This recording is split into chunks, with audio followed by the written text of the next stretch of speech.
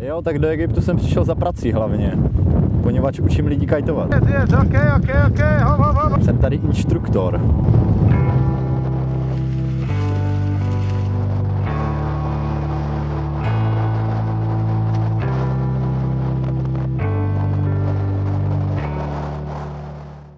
Většinou fouká, je tady teplo, plitká voda, raj na zemi.